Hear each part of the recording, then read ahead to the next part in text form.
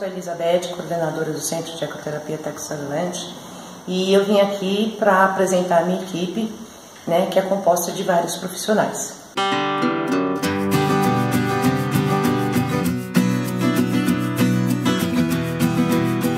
Oi, gente, eu sou a Érica, veterinária e também faço parte da coordenação do centro.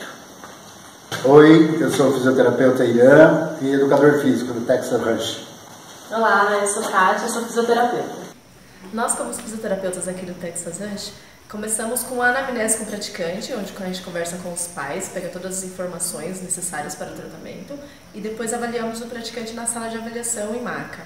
E nessa avaliação a gente avalia se o praticante tem alguma contraindicação óssea, muscular, é, qualquer, avalia, qualquer contraindicação possível, para saber se ele pode dar ou não dar continuidade ao tratamento.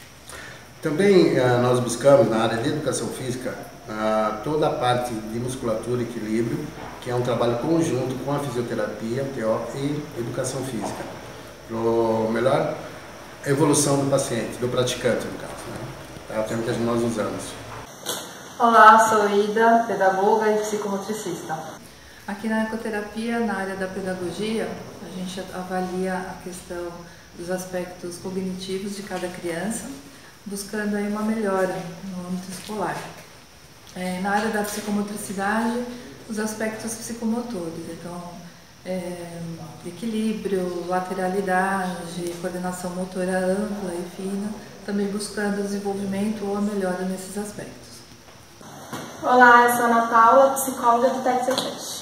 Bom dia, sou psicóloga aqui no Centro de Ecoterapia Texas Rush e o meu trabalho, assim como dos outros profissionais, começa na anamnese, procurando entender um pouco do comportamento da criança, das relações que ela tem, como que ela se dá com outras pessoas, dos medos, enfim.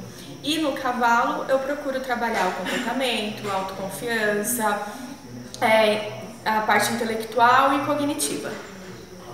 Oi, meu nome é Caio e estou iniciando na ecoterapia como condutor. Eu sou condutor e a minha maior responsabilidade é garantir a segurança da equipe e dos praticantes na sessão. Olá, meu nome é Douglas, sou instrutor equitador do Texas Rush.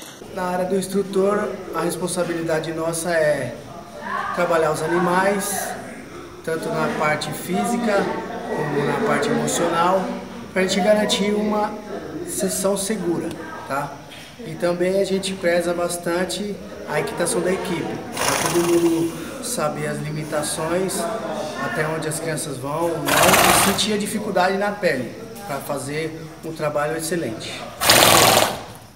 É isso, pessoal. Devagarzinho vocês vão conhecendo como é terapia no Texas Ranch.